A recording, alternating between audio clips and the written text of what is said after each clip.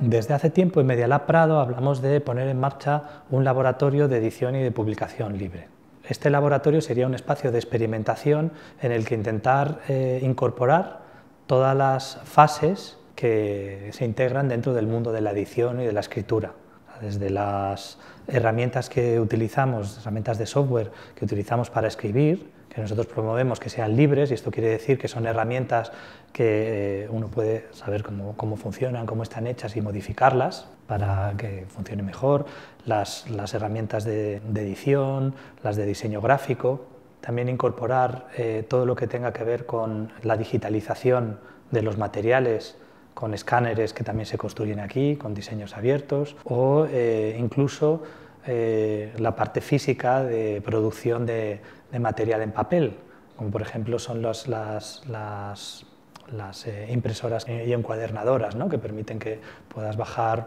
o imprimir un documento del dominio público y, y llevártelo a casa. Entonces, eh, la idea es generar una infraestructura abierta en torno a la cultura escrita que podría replicarse también en las, en las bibliotecas y que las bibliotecas no sean solo un lugar de acceso, sino también de edición y de publicación.